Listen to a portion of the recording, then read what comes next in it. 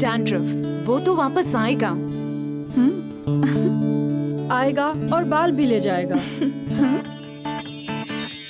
Dandruff की छुट्टी। ये है वाटिका शैम्पू की lemon power no dandruff no टूटते बाल सिर्फ़ मजबूती।